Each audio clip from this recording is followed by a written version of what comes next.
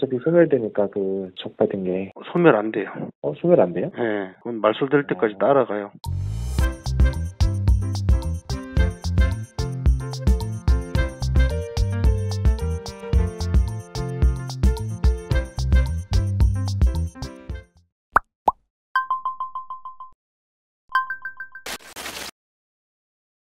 네, 디젤 트럭입니다.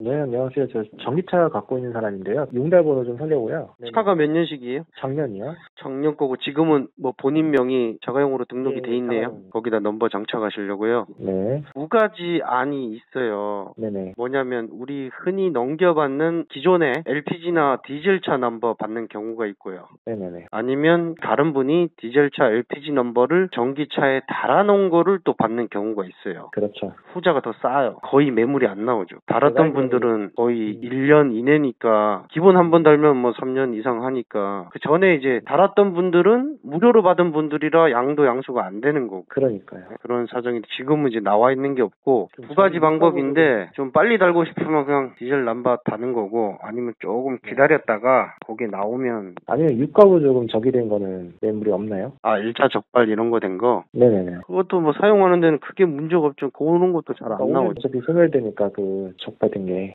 소멸 안 돼요 어, 소멸 안 돼요? 예, 그건 말소될 때까지 어. 따라가요. 1차 6개월, 2차 1년, 3차 적발은 넘버 말소. 그 리셋이 안 돼요. 1차가 6개월이라는 게 뭐가 6개월인 거죠? 유가 보조 받을 수 있는 게 기간이 6개월이 정지라고요. 아, 계속 따라가요, 그럼. 예, 예. 그런 것들은 뭐 적발됐어도 다 지난 거긴 한데 네네. 그래도 찜찜하니까 1차 적발은 2차 적발은 사면 안 되는 거고 적발될 일 없으니까 1차도 뭐 사도 상관은 없어요 사실 좀 저렴하게 할 거 시간적 여유가 있으면 유가 1차 적발을 사셔도 되고 아니면 전기차 1위 거래되는 근한발을 사셔도 되고 알겠습니다. 혹시 매물 나오면 연락 주시겠어요, 사장님? 뭐 적발이나 아, 전기나 그 네. 두, 둘 중에 하나요 예, 예. 지역은 어디신데요? 천왕입니다. 어, 알겠습니다 제가 체크해놨다가 바로 전화 드릴게요 감사합니다. 네.